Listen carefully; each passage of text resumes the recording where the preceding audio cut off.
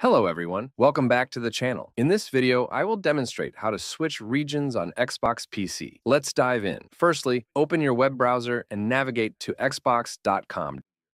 Ensure that you're logged into your Xbox account on the official website. Next, click on your username located at the top right corner. Then select My Microsoft account.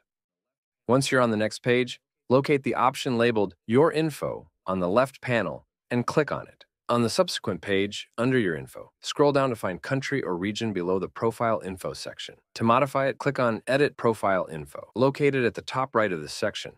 Then, you'll find country or region listed here. To change your region, click on the down arrow. Scroll through the options and select the region you desire.